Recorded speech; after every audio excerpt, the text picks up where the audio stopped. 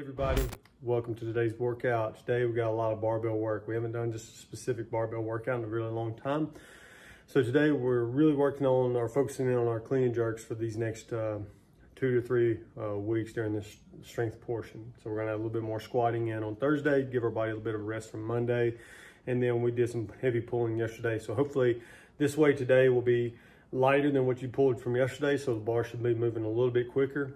But once again, there's gonna be a lot of fatigue in this workout, so really take your time. We're not doing anything else in today's class workout. We're not having anything else programmed besides some accessory work outside of this. So I know from my, me, my, uh, I know from me personally, I'm gonna really focus in on every rep being perfect. I'm not gonna be concerned about my time. I want every rep to be nice, clean, crisp, and fast. So just be mindful of that. Once again, pace over pain. We're looking for longevity. Now we're looking for great mechanics and consistency across every uh, across every repetition. The intensity is going to build itself up naturally with the weight. So don't be in a hurry uh, for today's workout.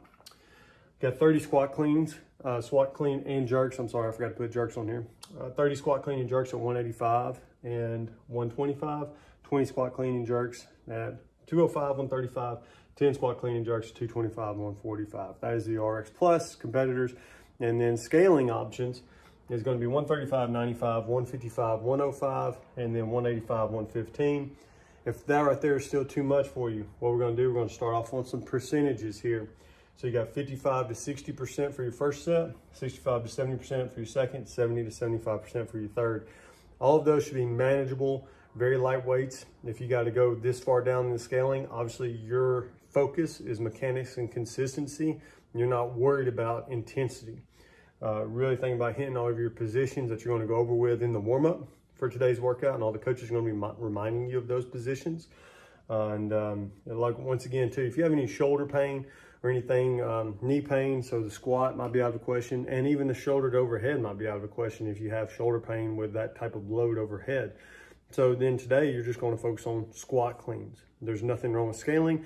I myself depends on how my elbow and shoulder are feeling. I might not be able to do uh, the jerks for today's workout. I just kind of go with how my body feels warming up and how that weight's going to feel when when I get uh, when I work my way up to it. So just listen to your body. Remember, your body whispers before it screams, and pace over pain. Number one. So today's workout is going to be challenging, but really think about your movements, think about consistency, and mechanics. Y'all have a great day.